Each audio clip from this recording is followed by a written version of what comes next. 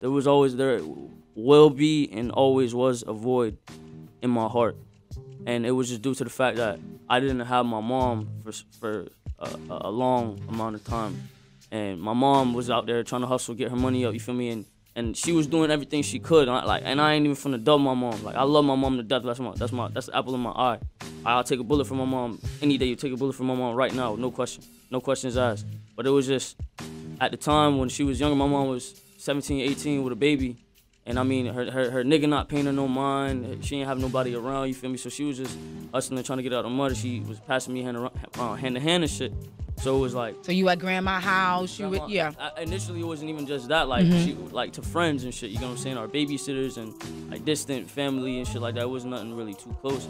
So I grew up having to self-soothe. But imagine having to self-soothe and not doing it, and just being like mentally, mentally ill from the very beginning, and just being depressed from the very beginning. Mm. And I mean, and I mean this like, and I'm saying this like from my heart. Like, that's really what it was.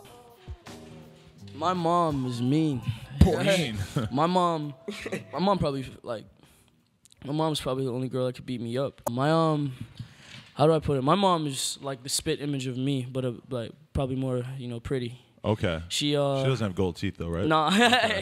no, she look. She look. He's the reason why I got gold teeth though. Like my mom, when I was a kid, I, like wanted me to get gold teeth. She so, wanted you to yeah, when you were a kid. Yeah, when I was a kid, she asked me, bro. Like, asked me if I want to go to type shit. What the fuck was? No, nah, cause it's just where I was like pumping though, bro. Like, like niggas like Kodak, like, like bro, it was big on girls. Girls was a yeah. thing. Like girls. To be honest, in the South, you know?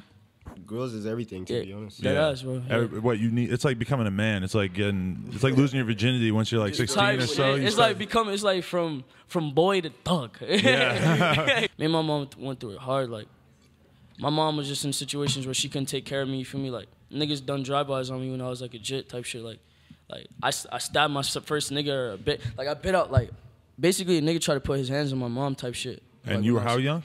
I was like six. Like six, and you six. stabbed him. And I, with I what? Bit, I bit his flesh out and like like grabbed the glass shard and like poked him with it type shit. Like stabbed him with it. Like wow. when I was like six, seven. Like uh-huh. my mom just had me like she was in a situation where like she wanted me around, but she couldn't afford to like because of shit she was around. You know, it, she was still growing up. Like my mom was raised in Jamaica. Hey, I must be out of the loop because today when when you called me on Face, that was the first time I heard you with a Jamaican accent.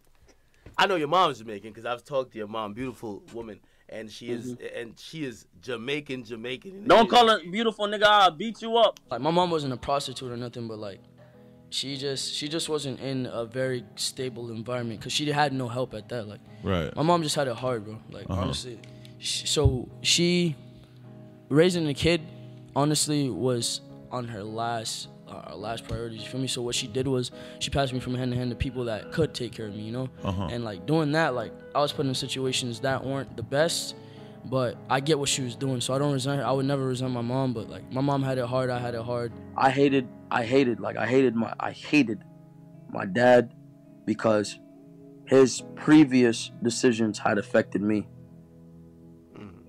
And it and it affected me spiritually. Because my dad was in it like I got locked up and was going to jail and shit. I ended up going through the same process. You know what I'm saying? Mm-hmm. Now, as far as his upbringing, his upbringing was far different than me. Mine was not traditional my I, it was almost like being thrown into a void, you know. And there's a lot about my family that people do not know. You know what I'm saying? A lot of things that my mom has been through. My family's just like kind of spaced apart, you know. So it's it's it's a lot to to mend in itself, but I understand that I have to be that middle ground. I have to be the I am the gatekeeper. So I'm the one who has to fix everything basically. I remember I used to beat niggas at school type shit just to like hear my mom yell at me or talk to me. What? Just because you wanted some attention just from her? I wanted some attention. Yeah, like I remember I used to go to like fucking um, Margate Middle. I remember like I remember one day like this bitch kept fucking with me like and I don't I don't like I don't I don't say hit girls. I know this is not something that but I'm gonna like keep it 1,000 for me. I don't like to lie. Um, there was like this bitch that kept slapping me at school type shit. So I remember like one day I was like, all right, obviously it's a girl. She probably likes me or some shit, you know.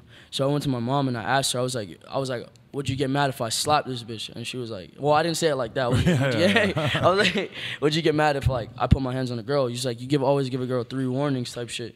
So like, I That's what your mom told you? Yeah, you always give a girl three warnings, and if she like she if she keeps hitting you, like obviously she's trying to harm you. Right. So if she's trying to harm you, then like then you go to like to the extent to where you gotta handle it. Uh-huh. So I remember one day like this like this girl and her boyfriend like were fucking with me at school, and I was like, cause I was making fun of them. And, like I think she slapped me or some shit, and like I slapped the fuck out of her and like and like kneed her.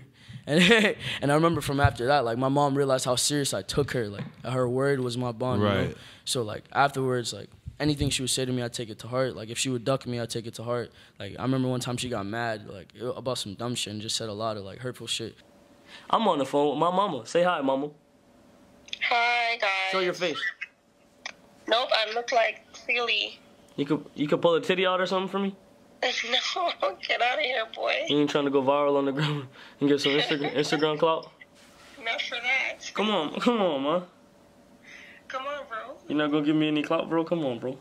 No, if you let me get some clout, you the one with the clout Let me token. get some clout. Let me let me see some cake, man. Come on. Let me see some You cake. I let me get some I know you got some fucking cake, man. Come on, man. Stop playing, man. I know the milkshake bring all the boys to the yard. You know what I mean? You're so stupid. Come on, put show your face. Come on, get some clout. No, I look like silly. Come on, man. Cat on my head. Stop fucking playing, mom. Oh my god. Come on, mom. And boy, come on from a phone. Come on, mom. Stop with your fucking bullshit, mom. Stop. I fucking hate you, mom. You know, nothing for doing now. I fucking hate you, mom. I told my mom like one day, cause like like I said, I was always after my mom. Like I always wanted her attention. So I told my mom one day, I was like, if you want if you want me to do anything, you need to be around. Mm-hmm. Cause at this time I lived with my grandma. Right. Cause she kicked me out. Cause basically, like, bro, there's a lot to the story with my mom. Like my mom is a big part of my life.